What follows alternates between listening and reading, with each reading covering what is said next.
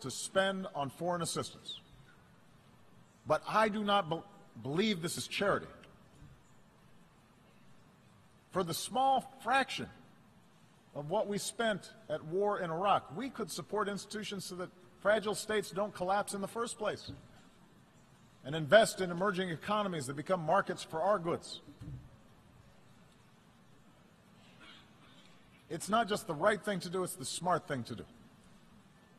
And that's why we need to follow through on our efforts to combat climate change. If we don't act boldly, the bill that could come due will be mass migrations and cities submerged and nations displaced and food supplies decimated and conflicts born of despair. The Paris Agreement gives us a framework to act, but only if we scale up our ambition. And there must be a sense of urgency about bringing the agreement into force and helping poorer countries leapfrog destructive forms of energy. So for the wealthiest countries, a green climate fund should only be the beginning. We need to invest in research and provide market incentives to develop new technologies and then make these technologies accessible and affordable for poorer countries. And only then can we continue lifting all people up from poverty without condemning our children to a planet beyond their capacity to repair. So, we need new models for the global marketplace, models that are inclusive and sustainable. And in the same way, we need models of governance that are inclusive and accountable to ordinary people. I recognize not every country in this hall is going to follow the same model of governance. I do not think that America can or should impose our system of government on other countries. But there appears to be a growing contest between authoritarianism and liberalism right now. And I want everybody to understand I am not neutral in that contest. I believe in a liberal political order. An order built not just through elections and representative government, but also through respect for human rights and civil society and independent judiciaries and the rule of law. I know that some countries which now recognize the power of free markets still reject the model of free societies. And perhaps those of us who have been promoting democracy feel somewhat discouraged since the end of the Cold War because we've learned that liberal democracy will not just wash across the globe in a single wave. It turns out building accountable institutions is hard work, the work of generations. The gains are often fragile. Sometimes we take one step forward and then two steps back. In countries held together by borders drawn by colonial powers, with ethnic enclaves and tribal divisions, politics and elections can sometimes appear to be a zero sum game. And so, given the difficulty in forging true democracy in the face of these pressures, it's no surprise that some argue the future favors the strong man, a top down model, rather than strong democratic institutions. But I believe this thinking is wrong. I believe the road of true democracy remains the better path. I believe that in the 21st century, economies can only grow to a certain point until they need to open up because entrepreneurs need to access information in order to invent. Young people need a global education in order to thrive. Independent media needs to check the abuses of power. Without this evolution, ultimately expectations of people will not be met. Suppression and stagnation will set in. And history shows that strong men are then left with two paths. Permanent crackdown, which sparks strife at home, or scapegoating enemies abroad, which can lead to war. Now, I will admit, my belief that governments serve the individual and not the other way around is shaped by America's story. Our nation began with a promise of freedom that applied only to the few, but because of our democratic constitution, because of our Bill of Rights, because of our ideals, ordinary people were able to organize and march and protest. And ultimately, those ideals won out. Open doors for women and minorities and workers in ways that made our economy more productive and turned our diversity into a strength. That gave innovators the chance to transform every area of human endeavor. That made it possible for someone like me to be elected President of the United States. So, yes, my views are shaped by the specific experiences of America, but I do not think this story is unique to America.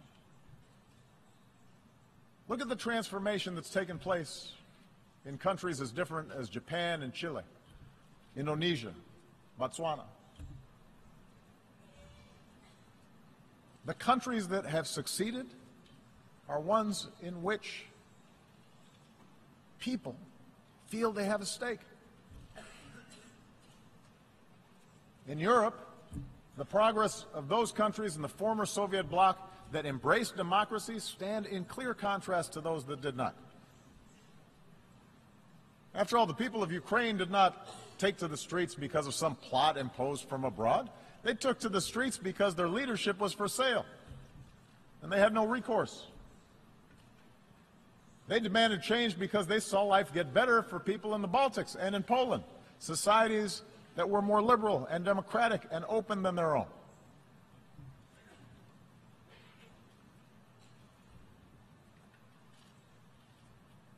So those of us who believe in democracy, we need to speak out forcefully because both the facts and history, I believe, are on our side. That doesn't mean democracies are without flaws. It does mean that the cure for what ails our democracies is greater engagement by our citizens, not less. Yes, in America, there is too much money in politics, too much entrenched partisanship, too, too little participation by citizens, in part because of a patchwork of laws that makes it harder to vote. In Europe, a well-intentioned Brussels often became too isolated from the normal, normal push and pull of national politics. Too often in capitals, decision makers have forgotten that democracy needs to be driven by civic engagement from the bottom up, not governance by experts from the top down. And so these are real problems. And as leaders of democratic governments make the case for democracy abroad, we better strive harder to set a better example at home. Moreover, every country will organize its government informed by centuries of history and the circumstances of geography and the deeply held beliefs of its people. So I recognize a traditional society may value unity and cohesion more than a diverse country like my own, which was founded upon what at the time was a radical idea, the idea of the liberty of individual human beings, endowed with certain God-given rights. But that does not mean that ordinary people in Asia or Africa or the Middle East somehow prefer arbitrary rule that denies them a voice in the decisions that can save their lives. I believe that spirit is universal. And if any of you doubt the universality of that desire, Listen to the voices of young people everywhere who call out for freedom and dignity and the opportunity to control their own lives.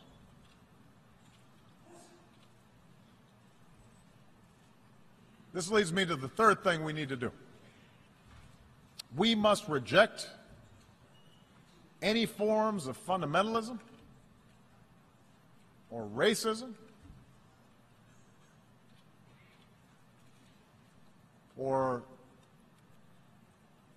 a belief in ethnic superiority that makes our traditional identities irreconcilable with modernity. Instead, we need to embrace the tolerance that results from respect of all human beings. It's a truism that global integration has led to a collision of cultures. Trade, migration, the internet, all these things ch- can challenge and unsettle our most cherished identities. We see liberal societies express opposition when women choose to cover themselves. We see protests responding to Western newspaper cartoons that caricature the Prophet Muhammad. In a world that, le- that left the age of empire behind, we see Russia attempting to recover lost glory through force. Asian powers debate competing claims of history. And in Europe and the United States, you see people wrestle with concerns about immigration and changing demographics and suggesting that somehow people who look different are corrupting the character of our countries. Now, there's no easy answer for resolving all these social forces. And we must respect the meaning that people draw from their own traditions, from their religion, from their ethnicity, from their sense of nationhood. But I do not believe progress is possible if our desire to preserve our identities gives way to an impulse to dehumanize or dominate another group. If our religion leads us to persecute those of another faith, if we jail or beat people who are gay, if our traditions lead us to prevent girls from going to school, if we discriminate on the basis of race or tribe or ethnicity, then the fragile bonds of civilization will fray. The world is too small. We are too packed together for us to be able to resort to those old ways of thinking. We see this mindset in too many parts of the Middle East.